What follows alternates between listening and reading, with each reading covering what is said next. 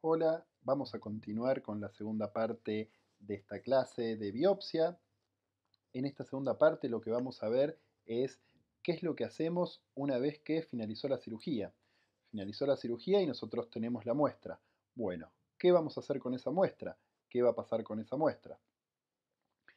Dependiendo, como estuvimos viendo, si realizamos una biopsia quirúrgica, una biopsia punción o si realizamos citología exfoliativa, es qué es lo que va a pasar con esa muestra.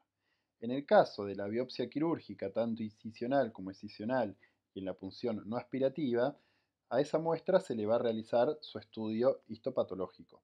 En cambio, las punciones aspirativas con aguja fina y la citología exfoliativa va a requerir de un estudio citológico.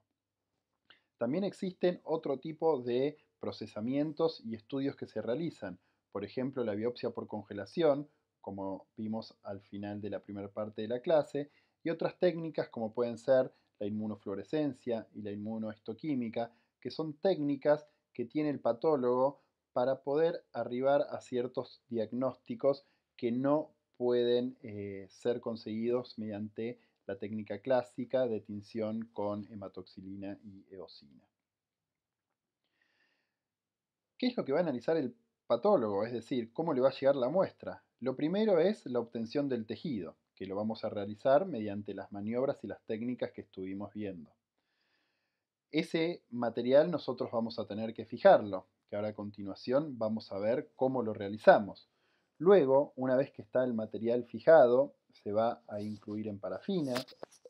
Una vez que esté incluido, se van a realizar los cortes con el micrótomo para poder observarlos en el microscopio. Estos estas muestras que ya están incluidas y que ya están cortadas se van a teñir con hematoxilina y eosina y una vez procesada toda la muestra se va a poder observar al microscopio óptico y es aquí donde el eh, especialista en anatomía patológica va a hacer su informe de las características de la muestra que nosotros le enviamos. Ahora lo que vamos a desarrollar de todo esto es lo que hacemos nosotros como operadores una vez que tomamos una muestra para realizar una biopsia. Es decir, qué vamos a hacer cuando obtenemos el tejido y qué vamos a hacer con la fijación. Vamos a comenzar con el tratamiento de la muestra una vez que la obtuvimos. Nosotros tenemos que ser muy cuidadosos. Vemos en esta primera foto cómo el material, nuestra muestra, se encuentra totalmente lisa y sin ninguna alteración. En cambio, en esta segunda observamos la impronta de una pinza hemostática que se utilizó para tomar esta muestra. Esta alteración morfológica le va a dificultar al patólogo su observación y su diagnóstico. Es por eso que debemos tener el máximo cuidado en evitar cualquier tipo de alteración morfológica en el material obtenido, como observamos en este primer caso. Una vez que tenemos la muestra, como vimos anteriormente, la tenemos que fijar. La fijación consiste en preservar en forma permanente a los tejidos manteniendo su morfología lo más parecida posible a la que poseía en su estado vital. Esta morfología la vamos a mantener parecida primero con lo que vimos en la diapositiva anterior, sin alterar la muestra. Y ahora vamos a ver cómo vamos a seguir cuidándolo. Esta fijación tiene que ser inmediata, es decir, que una vez que tomamos la muestra hay que sumergirla y adecuada. ¿Cómo va a ser adecuada? Bueno, primero pensando en el envase. Tiene que tener un tamaño considerable donde pueda entrar nuestra muestra. Tiene que tener la boca ancha. Si tiene la boca muy pequeña, puede ser que cuando nosotros metamos nuestra muestra, alteremos esa morfología y peor, a veces para colocarlo es fácil, pero cuando el patólogo quiere sacarlo, no entra la pinza o no tiene cómo sacarlo por el tamaño de la boca de este frasco. El mismo tiene que ser transparente, tiene que estar bien sellado para que no se pierda el líquido fijador y tiene que estar rotulado con lápiz.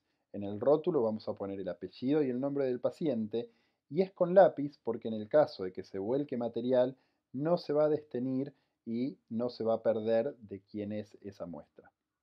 En cuanto al líquido fijador, puede ser en formol al 10 o al 20%, y este tiene que estar en cantidad suficiente, es decir, tiene que exceder el tamaño de la muestra y lo tiene que cubrir totalmente. La muestra tiene que estar sumergido totalmente en el líquido fijador. Se dice que como mínimo tiene que haber una relación de 1 en 20 en cuanto al tamaño de la muestra y al líquido fijador. Cuando realizamos un estudio citológico, ya sea por citología exfoliativa o por una punción aspirativa con aguja fina, una vez que obtenemos el material, este lo vamos a colocar en un portaobjeto y hay que, uno lo va a flotar y hay que fijarlo de manera inmediata. Lo vamos a fijar, en este caso se utilizan los fijadores que se utilizan para el pelo en peluquería, eso es el mejor fijador que tenemos para este tipo de estudio. Una vez que obtuvimos la muestra, la colocamos en el parte y la fija en el porta objetos y lo fijamos, se envía al laboratorio de anatomía patológica para su estudio. ¿Qué es lo que le vamos a enviar al patólogo? Bueno, lo primero es el protocolo. Este es el protocolo que utilizamos acá en la facultad de la Cátedra de Anatomía Patológica, en la cual en la primera parte vamos a consignar tanto los datos filiatorios del paciente como los datos de quién tomó eh, esta muestra, de quién realizó la biopsia, quién fue el profesional, en qué servicio fue y los datos del mismo. Luego se van a consignar todos los datos relevantes del paciente. El profesional que va a realizar el estudio anatomopatológico necesita saber de toda la información que nosotros recabamos cuando realizamos la historia clínica, es decir, los antecedentes de la lesión, cuándo apareció, cómo fue su evolución, si duele, si no duele. Todos esos datos nosotros tenemos que registrarlos en este protocolo. Luego vamos a colocar las características propias de la lesión, que es lo que nosotros vimos cuando realizamos nuestra biopsia. Cómo era esa lesión, cómo era la coloración, cómo era la textura, si tenía contenido, si no tenía contenido, cómo eran los tejidos circundantes a los mismos. Esto es información muy útil, diría que indispensable para que el patólogo pueda realizar el correcto diagnóstico. Luego vamos a poner nuestro diagnóstico presuntivo de la lesión, que es lo que nosotros pensamos que eso puede ser, para orientar al patólogo, porque si uno solamente le manda la muestra al patólogo, existen un sinfín de patologías. Entonces nosotros debemos orientarlo a qué es lo que está buscando. Vamos también a consignar en qué material lo utilizamos como fijador, en este caso formol al 10%, y lo último que vamos a poner es si el paciente recibió o si al paciente le realizaron alguna biopsia en el pasado y cuál fue su diagnóstico. Otra cosa que le vamos a enviar es el estudio por imágenes, indispensable. En este caso se envía una radiografía panorámica, pero también se pueden enviar, eh, enviar en el caso que tengamos tomografías computadas o como les decía resonancia o cualquier imagen que consideremos que sea necesaria para que puedan arribar a un correcto diagnóstico. En el protocolo también vamos a anotar si le enviamos una radiografía panorámica, si le enviamos tomografía o qué le enviamos. Las fotos clínicas es opcional, pero son muy útiles en el caso de que tengamos registrados, como les dijimos al principio, que es de extremada utilidad registrar fotográficamente las lesiones, también suele ser una herramienta muy útil para el patólogo. Siempre, cuanta más información le podemos brindar a nuestro patólogo, nuestro patólogo va a estar mucho más cerca de arribar a un diagnóstico de certeza. Y por último, le vamos a enviar la muestra que tiene que estar la toma bien presentada, bien rotulada, bien fijada, como fuimos viendo en las diapositivas anteriores que tenemos que realizar el tratamiento de nuestra muestra. Una vez que el patólogo recibió todo, nos va a devolver a nosotros el estudio anatomopatológico. En el mismo va a haber un examen macroscópico y va a haber un examen microscópico. En el examen macroscópico nos va a relatar qué es lo que nosotros le enviamos y cómo eran esas características. En este caso se enviaron dos fragmentos de tejido blando, de aspecto membranoso, blanquecinas, que nos dice sus medidas y cómo era el corte. y en el examen microscópico es donde nos va a dar su impresión diagnóstica. En este caso nos dice que el material remitido se observa una pared quística de tipo inflamatorio y un tumor odontogénico escamoso asociado. Así que nosotros vamos a recibir este informe de nuestro anátomo patológico que acá está tachado, pero nos va a afirmar porque debemos saber quién es. La comunicación fluida entre el cirujano y el anátomo patólogo es clave para poder arribar a diagnósticos de certeza. Entonces, es importante conocer quién realizó tanto para quien realiza el estudio anatomopatológico, quién realizó la biopsia y para quién realizó la biopsia, quién realiza el estudio anatomopatológico. Una vez que tenemos el resultado anatomopatológico, este puede provenir de una biopsia incisional o punción o puede provenir de una biopsia escisional. En el caso de que lo hayamos obtenido a partir de una biopsia incisional o punción, vamos a tener que evaluar cuál es el tratamiento definitivo. Como habíamos dicho antes, las biopsias incisionales o la biopsia punción vamos a tomar solo una pequeña porción. Entonces, con nuestro resultado vamos a tener que realizar el tratamiento definitivo.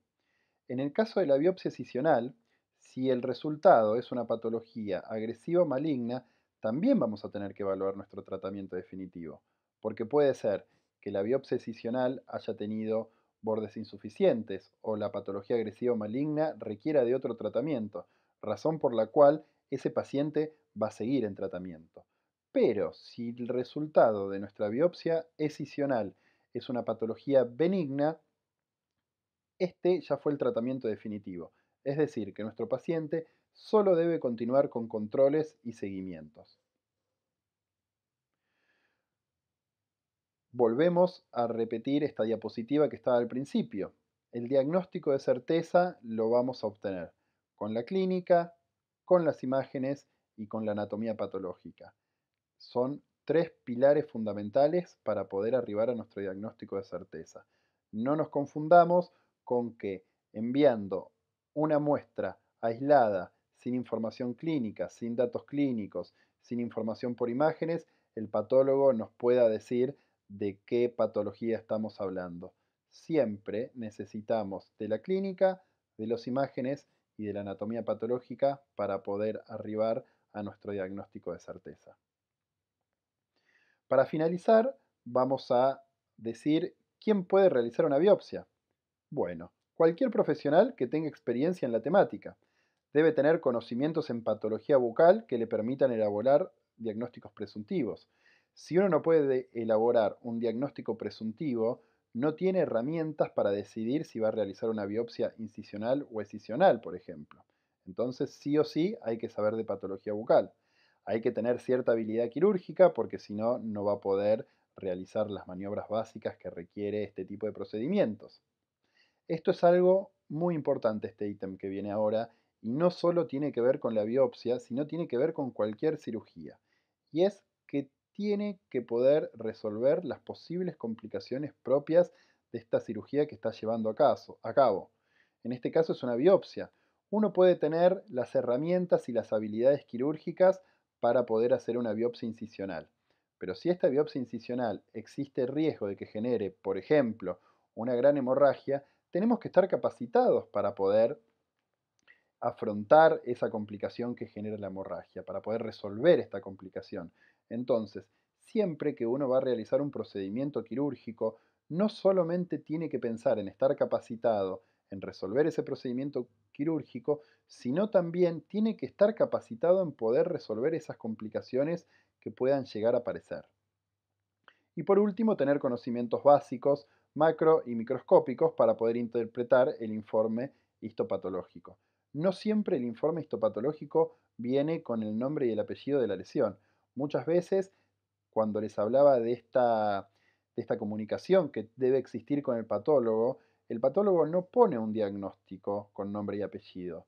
Entonces hay que analizar la clínica, hay que analizar las imágenes, hay que hablar con el patólogo y a partir de ello poder arribar a nuestro diagnóstico de certeza. Es por eso que estos conocimientos son indispensables tenerlos. Esta es la bibliografía que eh, utilizamos para esta clase, la misma la van a encontrar en el campus con eh, los links a todos estos libros. Y estos son los canales eh, que ya todos ustedes conocen.